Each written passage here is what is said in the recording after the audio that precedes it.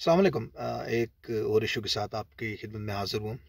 ये बड़ा ही ख़तरनाक किस्म का और बड़ा ही दर्दनाक किस्म का जो है ये इशू है कि ए जे के बोर्ड ने टेक्स्ट बुक बोर्ड ने जो है वो एक ग्यारहवीं के निसाब के अंदर ये चीज़ शामिल की है कि कोई काजमी साहब हैं। उन्होंने लफ्ज़ पाकिस्तान जो है वो उसकी बुनियाद रखी। ये बहुत भोंडा किस्म का मज़ाक किया गया है और मेरी सबसे पहले तो ये गुजारिश है हुकूमत वक्त से कि ए जे के बोर्ड के जो चेयरमैन हैं, टैक्स बोर्ड के जो चेयरमैन हैं, उनको और वज़ीर तालीम साहब से पूछा जाए कि आपकी नाक के नीचे ये काम हुआ और कैसे हुआ? नंबर एक। नंबर दो, ये हुकूमत वक्त को तमाम पार्टीज़ को बिला तफरीक, चाहे वो किसी भी सियासी नज़रिए से हैं, इस चीज़ के ऊपर एक्शन लेना चाहिए कि जिस तरीके से हम अपने मौसनिन के साथ ऐसा मज़ाक करते हैं। हम ये साबित करने की कोशिश कर रहे हैं कि हम अपने मोसनिन के साथ ऐसा करते हैं, पहले जिस खाकी का वादा किया गया, वो नहीं आया आज तक। और अब दूसरा ये साजिश करके उनको हटाया गया। ये कैसे हुआ क्यों हुआ किसने अप्रूव किया किस तरीके से हुआ? फिर इसके ऊपर जो है तमाम पार्टीज़ अपोजिशन पार्टीज़ और हुकूमती अरकान सबसे मेरी गुजारिश है तमाम पढ़े लिखे लोगों से गुजारिश है कि इसके ऊपर अपना एहतजाज रिकॉर्ड कराएँ नंबर एक। नंबर दूसरी बात यह है कि ये जो चेयरमैन साहब हैं इनसे ये पूछा जाए कि आपके पास आ, क्या ऐसी तहकीक है कितनी रिसर्च हुई है इस बात के ऊपर? कितने आर्टिकल्स लिखे गए हैं? कितने प्रूवन आर्टिकल लिखे गए हैं? सिर्फ़ हामिद मीर साहब ने एक प्रोग्राम के अंदर ये बात कर दी और उसके बाद इन्होंने दुम पकड़ ली उस चीज़ की।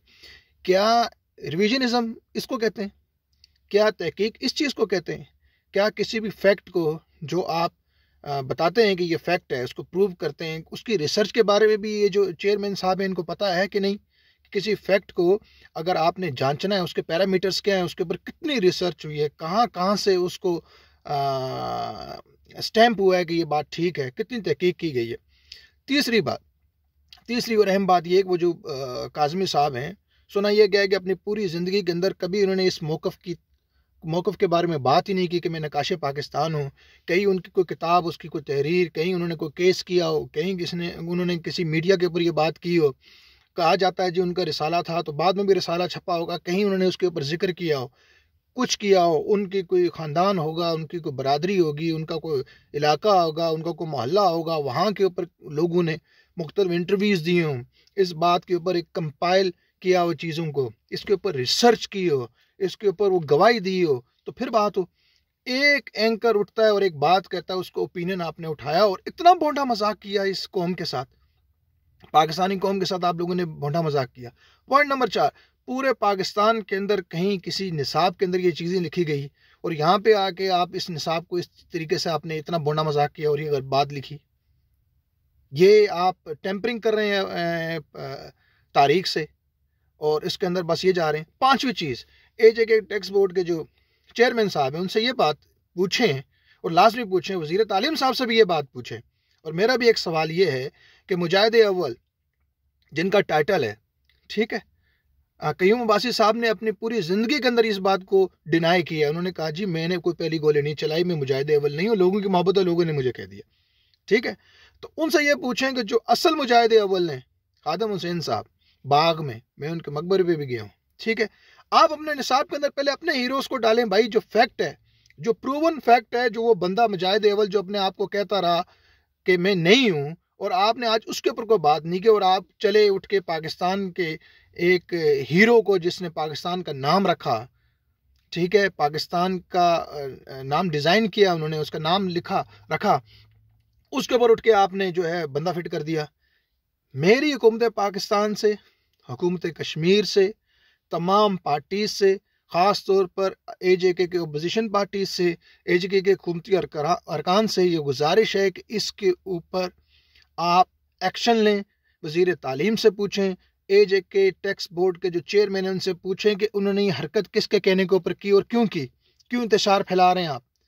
क्यों इस तरह की गलीज हरकतें कर रहे हैं जिससे आप टेम्परिंग कर रहे हैं? और फिर ये है कि उनसे ये पूछें कि क्या वो ए जे के चेयरमैन टैक्स बोर्ड के जो चेयरमैन है, उनसे आप ये पूछें कि उनको पता है कि फैक्ट फाइंडिंग होती किस तरीके से है? किसी भी चीज़ को अगर आप निसाब के अंदर डाल रहे हैं तो कल तो आप पता नहीं क्या लिखेंगे।